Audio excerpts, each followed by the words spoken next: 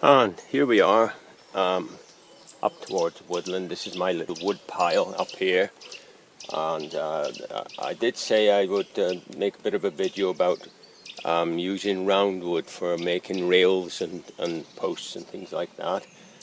And uh, as you know, I haven't been very well lately. I may have to go into hospital. So before I do, I'm going to just make this video to carry it on forward.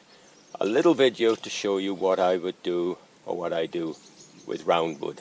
Now then, if I use round wood, I've got two axes, two pound and a one and a half pound. Both axes I put in little gloves like that and I can take them off and that protects the, the blade and protects you. And uh, there they are. Now, and if you'll have watched my previous videos or my videos, you will know that I um, I uh, just check that it's in thing. Yeah, that I've um, used the saw quite a lot. And what I've got here is an example. This is a piece of wood, and we'll just put uh, put a point on it and uh, and make it as if it's a rail or or a, or a pile or a stake, if you like. And what I'll do, I just saw that off there. I'll use my uh, my technique of saying that you do, you use the full of the saw and you you press. Uh, you don't press. You just use all the saw and you don't press. Now then, um, just do that. Just get rid of that little bit. You could use the chainsaw, but what's the point? I mean, um, I would probably have the chainsaw with me normally, but by the time you play around with that, uh, you've done it. So now we can discard that piece. I'll go on as quickly as I can, because you want to get as much information into it as I can. And what we'll do, this is a piece of wood, this is a piece of wood out of the thing. Get a stump like this, and somewhere handy, spare our wood pile so we can use it. And then you can use that as an anvil then, and you can use the axes, like that. Now I always invariably use gloves, and I can use it without gloves, but uh, I feel quite more comfortable with gloves. So but we're just giving an example. And when you're using an axe like this, you've got to use a bit of power with an axe. You've got to use a bit of power. You, you can't just do this. You've got to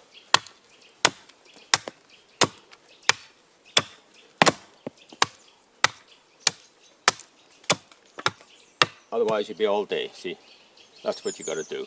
And then as you come to that point and you want to clean it up a bit, you, there's the handle, there's the throat, and there's the head and use the handle. And you can go to the throat as you get a bit, bit what you call just for just tidying that up.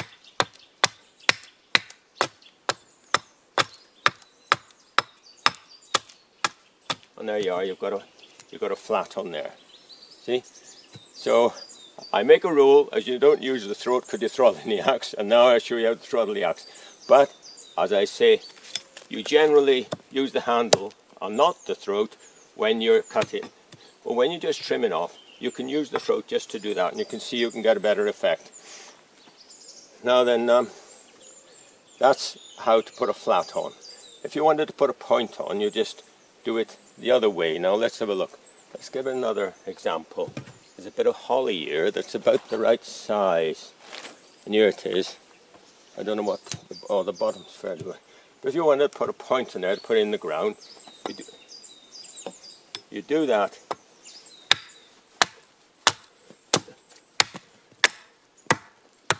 that.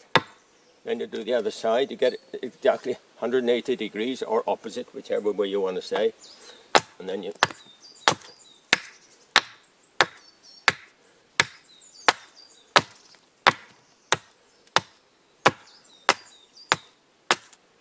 Now then, not in the best of health. I'm getting on a bit now, 78. So um, I'm not as accurate as I could be. So you'll have to bear with me if I'm a little bit inaccurate or normally I just chop this up with a couple of those. That's the third side and then you got the fourth side. Whoop.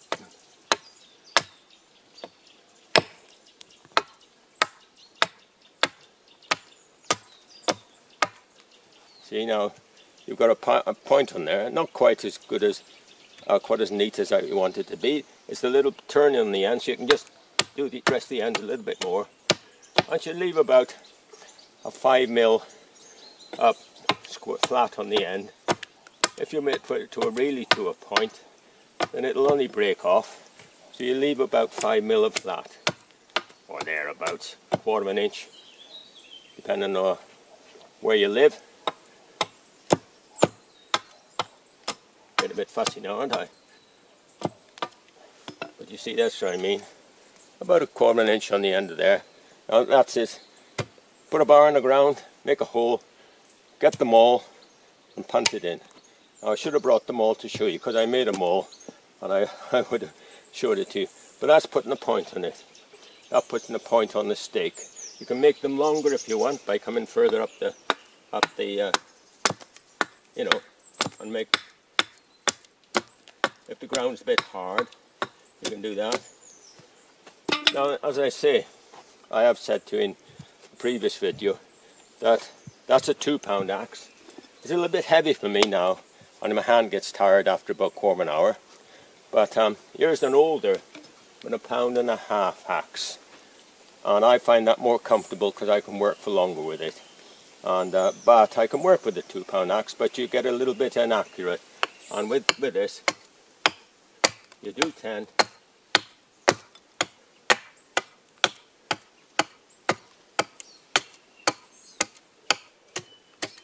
largely the same effect but a little bit more comfortable for me. So try a two pound. If you find it's too um, bit too manly get a, a pound and a half axe.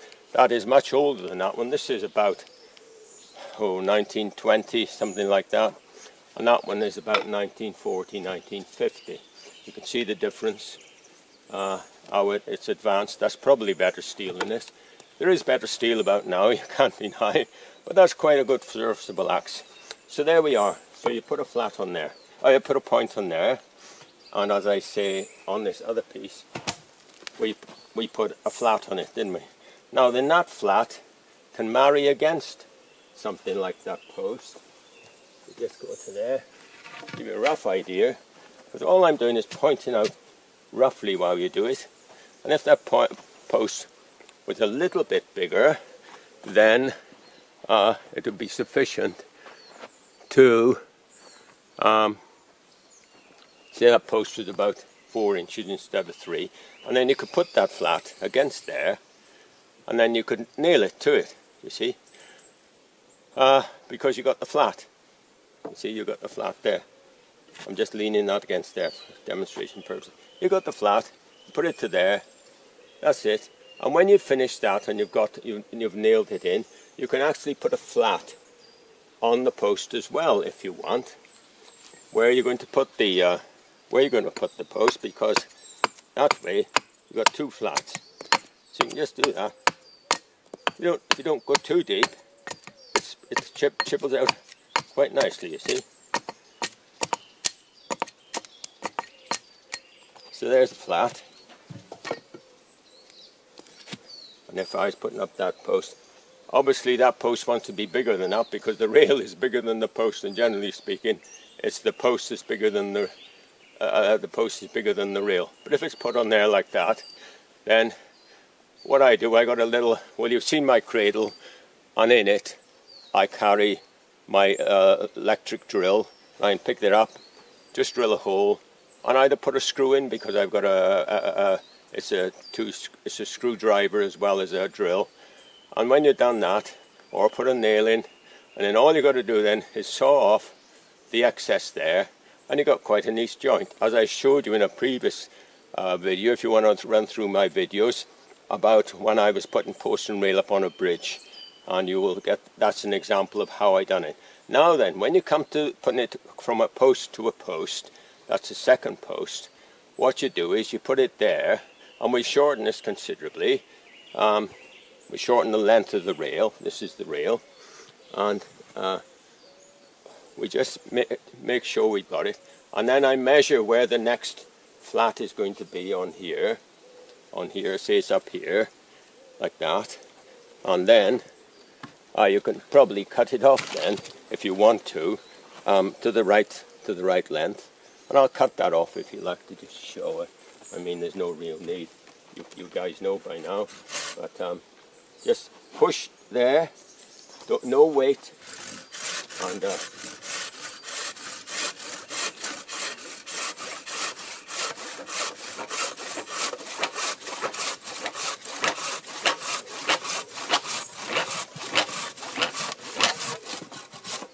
There we are, we've got a nice block for the fire. That goes in there. This is my wood fire up in there.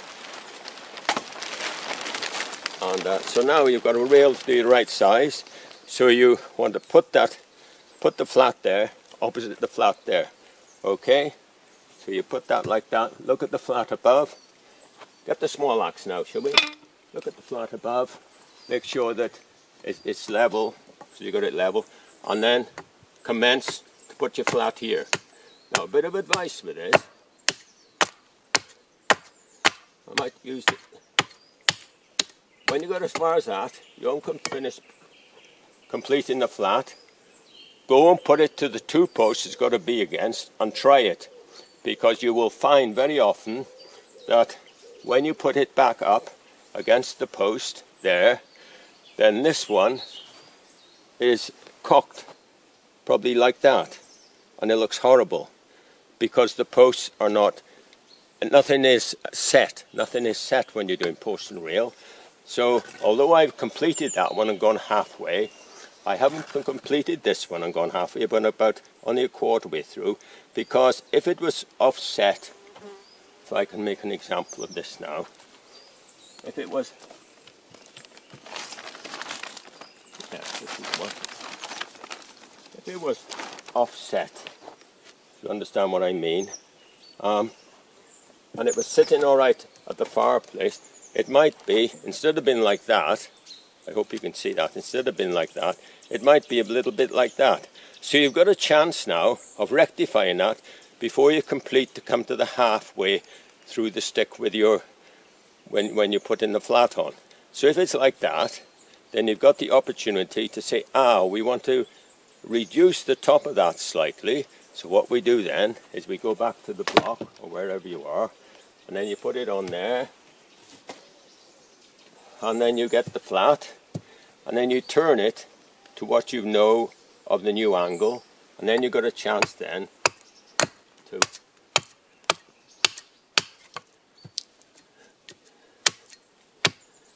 bit of a knot there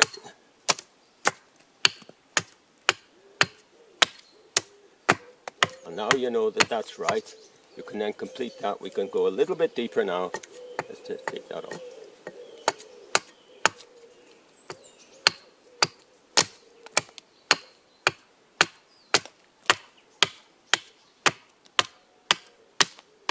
so now you come to the flat now, but it's at the right angle because you give yourself that opportunity. You would be surprised how often that happens. You get that flat, and you think it's got to be flat on the same plane up the other end and then you go and make the complete flat up there and then when you go to put it on instead of being flat it's like that. And then you, you, you've made a mistake and you can't do anything about that now because you've used up the wood haven't you? So the main thing is to is to get that right and then when you got it like that you can take it again up to the two posts that you put in the the rail on. This is the rail, you're putting the rail on. And you can set it up and have a look. And you've got a chance to do things about that. You know, you might want to uh, find that you've got to fur go further up the stick. And then you can come up here. Because, because you find that, that that's that. And then you can cut off what you want with your saw when it's up and dusted and you've um, you've done the job and it's drilled and painted and put on, then you've got your hand saw and you can saw it up against the post. Just saw that off at a nice little angle and you'd be surprised how nice it looks. And you've got a nice little rail and then you put three rails down, go on to the next post. And you're making a post and rail fence that's very strong, will last a long time, and all you've used is some five inch nails. Get very thin nails if you can, not these fat nails, agricultural nails. And or put screws in.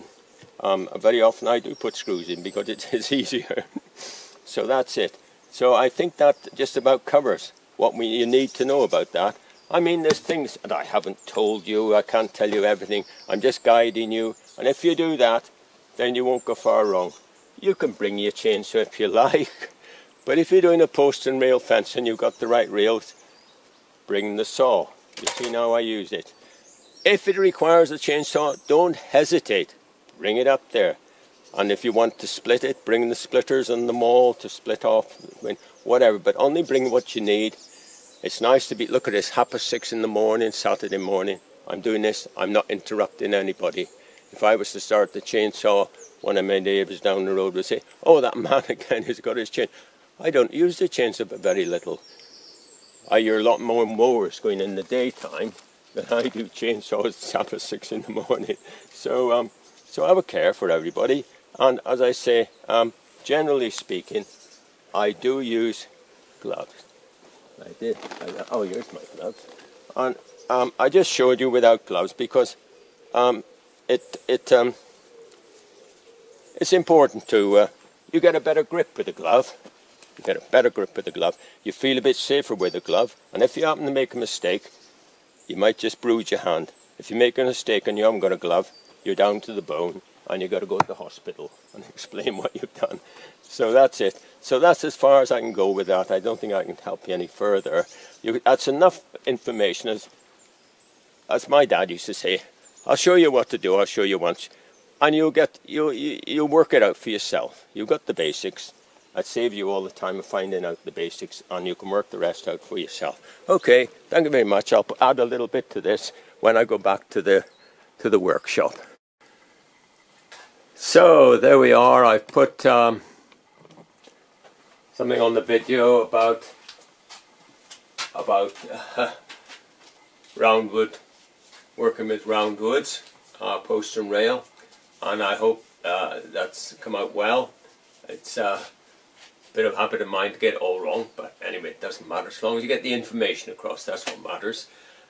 So um, I hope that works out. But I just come back to the workshop and I'll just add this to it. Stiff guys can stick it on the end about um, if you're putting the posts in, you want to look out for a bar. This is a bar. This is actually a tine out of an old um, um, used to row up hay with it and things like that, and that's a bar put a point on it, something like that, and you push it in the ground, rattle it around and punch it in again, rattle it around, and then when you've got a nice hole, just drop your uh, post in, and then you want a maul, a maul. If you uh, can, get one out of wood, um, because it doesn't damage the posts and they last for ages. This one looks antique, doesn't it? it looks very antique, looks about 100 years old. Uh, but I made it myself about 15 years ago. Just went up the wood one day, short of them all. Seen a bit of, uh, I think it was um, sycamore, sycamore knot.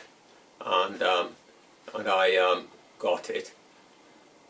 And uh, just um, I'm looking at something over there. Somebody's coming, tractor, my attention. Somebody's coming. Um, sort of, I got it, drill the hole in it, blah blah blah. Got a piece of wood, drill the hole, knocked it in. That has knocked in dozens of posts, dozens of posts. And what I done, I got a piece of wood with a little bit of a bend on it, you see, so that when you're when you're putting the post in, it's high to start. You're knocking up here, aren't you? The post is high, because you want to end up about here for a nice post and rail. So up here, so you can do that. Bang, bang, bang. Then when you come down, you know, you can really wallop it. And it doesn't damage the star and wear, see? And it doesn't damage the post because you're using wood. And there's nothing there. There's not even a there's not even a nail in there. There's just a wedge to hold that in. And as I say, it's it's done dozens of posts, dozens and dozens over the last 15 years.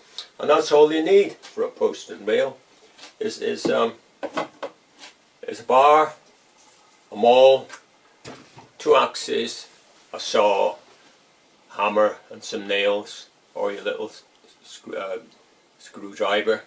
Uh, you know these electric ones. They're very good. I use it on my um, on my cradle. I put it on my cradle. If you don't know what a cradle is, have a look from my videos, and there'll be information on a cradle.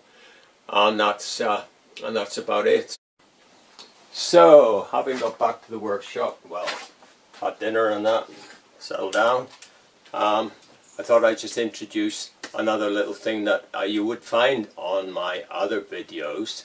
On the, um, the towards the back end of the video and people have got a very short attention span so there's sometimes they don't reach it and that is to sharpen the axis and you don't have to make a good a big deal about it. You know it, it's quite simple.